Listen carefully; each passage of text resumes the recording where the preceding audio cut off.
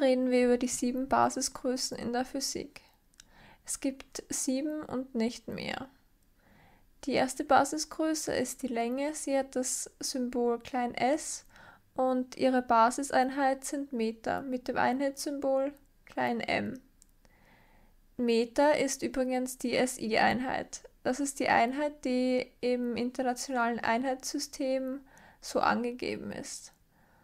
Und andere, natürlich hat die Länge auch andere Einheiten. Das sind dann die Nicht-SI-Einheiten, zum Beispiel Kilometer, Zentimeter und so weiter. Und es gibt eben nur eine SI-Einheit bei jeder Basisgröße. Nun zur zweiten Basisgröße. Diese ist die Zeit. Sie hat das Symbol klein t. Und ihre Basiseinheit oder auch SI-Einheit ist die Sekunde.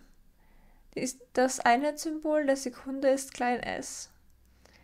Die dritte Basisgröße ist die Masse. Ihr Symbol ist klein m.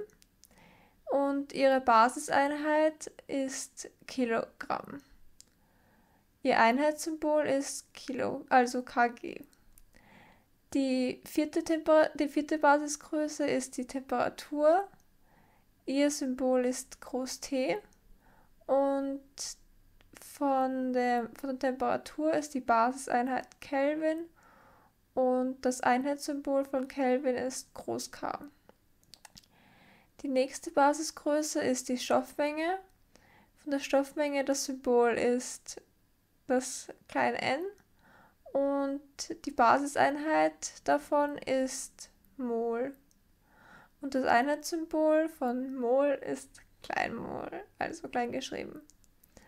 Dann die, die vorletzte Basisgröße ist die elektrische Stromstärke.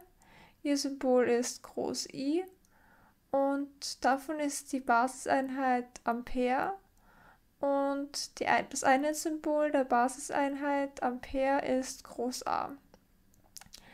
Die letzte und siebte Basisgröße ist die Lichtstärke. Und das Symbol hiervon ist IV und die Basiseinheit der Lichtstärke ist Candela. Und das Einheitssymbol ist CD.